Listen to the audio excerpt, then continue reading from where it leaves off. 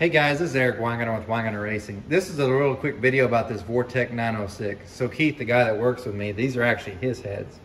So he got these and he painted them just to kind of keep them from rusted. And he went ahead and did a valve job, did a couple other things, had them trimmed down his guides um, so he could put a better seal on for one and he gets more clearance. He didn't pin the studs or nothing. Um, these are stock ones. Now they do have hardened seats and I'll show you in just a second. But um, he's just trying to do a mild engine with them. But just for fun, we thought, well, hey, we flow it. Because I know you guys, a lot of you guys know, I do not port cast iron heads. But I work on them as far as valve jobs and flow them just for fun because that's that's not a big deal. Porting takes way longer. But anyway, he happened to get a 906. So this is what this is. Now we've done some stuff to it and I'll show you. So this is the head and you probably hear the term like five angle valve job, three angle valve job. Well, this one actually has three angles and I'll show you. So um, he got it stock and we cut it out with just a three angle valve job. And it looks like there's four. So we'll go to like this one. So if you look, that'd be like angle one, two, three, four. But really the only ones that got cut was this one, this one, and this one. That's a 60, 45, and a 30 top cut. That's it. That's These are the most common angles you get just about anywhere. Anybody's got this cutter. Um, this isn't like a high performance one, it's, it's just this. And the reason for using it is because I don't port them if I'd used my other cutters I use for my other heads, it would have left a huge step right here because when it cuts, it's gonna remove all that lip and it's gonna leave a notch in there and you kinda gotta port with it. Now in the exhaust, this is a radius valve job. So it's 45s right through here, which you can see, but this is the radius cut. Now, this one being a 906, not all are this way, it actually has the hardened exhaust seat, which you can see. Not all 906s do, it really kind of varies. Now, also, when they come, they usually look something like this, which is pretty bad, and they don't flow worth, they don't flow very well. This one, with because the radius valve job they put on it, it actually helped flow, and I'll get the flow numbers in just a minute too. But that's all that was done. So he trimmed the guide, simple valve job, easy to do stuff, um, if you got the machines, I guess. And we flowed it. This head right here, you've seen in a previous video, this is actually a ProComp slash Speedmaster Vortec head. Now, if you look at it from the chamber side, I mean, they look very similar. So, but as you could tell, there's a lot more material around this guide boss on both the intake and exhaust than the stock Vortec. Um, also, if you look at the valve job itself, which I didn't, I should have done a video about this one before with the stock valve job, but it looks similar to this, but just not this bad. These are hardened seats as well. Well, we flowed both. So he did do a 30 degree back cut on the intake, no back cut on the exhaust. This one actually has a back cut on both the intake and exhaust when it's flowed. So let's get to the numbers.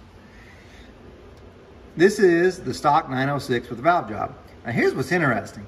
He was flowing it and I was looking over his back and I actually saw that pop up. So I told him to go back and we'll see what we get.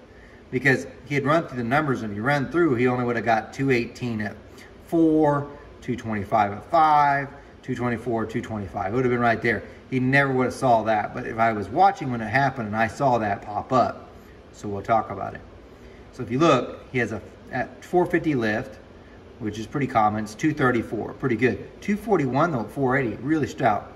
Once you get to 500, it backs up on flow. And this is because the short side can no longer support the air that's going across it. The air is now ramping the short side, kind of shuts off the zone that's flowing, it flows less air. Um, and that's typical of Vortecs without any port work. The exhaust flow is pretty good at 158. Now, is it outstanding? No. Because really, even at 4, it's only 150 which honestly for a small block Chevy is pretty weak, but compared to like other stuff, like other stock heads, this is pretty good. Remember the no port work done. This is that Speedmaster head. If you compare it, it only peaked at 211. So period. An exhaust 143. So the stock one with just a valve job done to it, way better than that. So now I will get to do a valve job eventually on these. The guy's supposed to send me the other head so I could do it and you get to see what improvements that can be made. Um, I don't know that it's going to match this though, so we'll have a good comparison, but I don't think it will. So anyway, there's a little bit of information for you. Hope you guys enjoy and take care. Well, guys, since you made it to the end of the video, I'll tell you what didn't happen yesterday. What didn't happen is I didn't go racing. Um, right now I'm outside and it's cool. Nice weather, like perfect weather. Probably would have been yesterday. I actually checked the DA because you can look at our track as an app. The density altitude was 177 man, it'd been perfect. But why didn't I? Truck's all loaded. It's been on the trailer ready to go. The reason why I didn't is because the midnight's are usually street crowd. And if you remember any of my past videos when I talked about that cars and coffee, those are the same people. So because it goes so long, like it went to like 4 a.m., I probably could have made as many passes as I want, but more likely I would have lost my patience after the first hour or so. Um, so I don't think the track prep would have been as good because of that, but the the actual air temp would have been phenomenal. So wasted opportunity, I guess.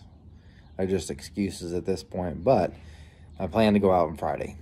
So go out on Friday, and then maybe um, I might drive all the way to Mid America Dragway for the races on Sunday, maybe of next week, maybe for sure for testing tune on Friday unless weather happens go bad again. Anyway, thought I'd give you that update. Anyway, you guys, uh, thanks for watching this video. Hope you enjoyed the Vortecs stuff. Here's something since you stuck around.